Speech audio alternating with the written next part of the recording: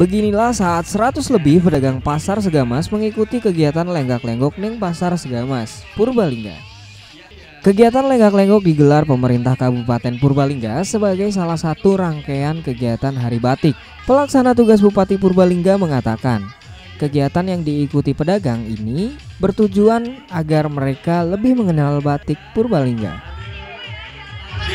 Tentunya kegiatan ini juga dalam rangka mempromosikan uh, batik produk Purbalingga sekaligus menumbuhkan kecintaan warga masyarakat terhadap produk-produk batik Kabupaten Purbalingga.